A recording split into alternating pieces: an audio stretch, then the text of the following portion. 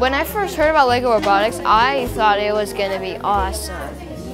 And, well, it's awesome. Everything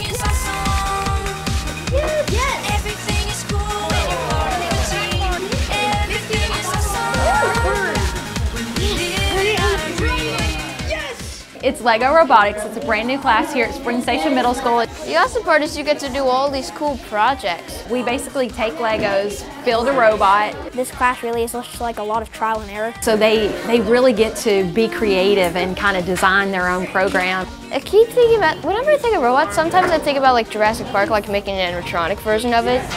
Like making all the dinosaurs and all that stuff. This class I actually get to use, I actually get to build stuff and then program instead of just sitting at a desk and writing on a piece of paper. If sometimes when it's like an easy project, it's a pretty good day. Then they go and they figure it out. So the problem solving skills has been huge um, because they really do have to figure it out themselves. When it's like a really hard one and it's hard to go through, it's kind of a little bit of an awesome slash hard bad day.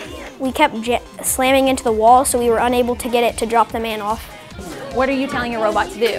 What are you what are you wanting your robot to do? You know, like are those the same things? So we need to do it like one tenth more percentage power. Well, this isn't it's not grabbing the robot the way it needs to. And I'm like, well, fix it.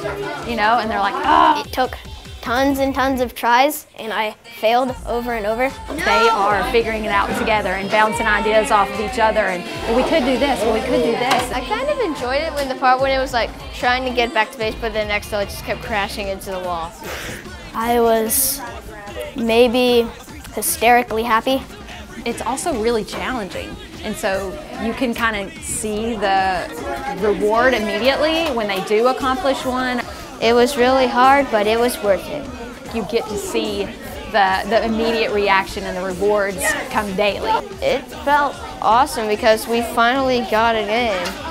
So I'm, I love that I get to experience that all day here. I was kind of enjoying it. They are having fun. They, they do get frustrated sometimes when they can't accomplish it like before the class ends. When you like, you don't want to go, but when it's over with, you feel proud that you've done it.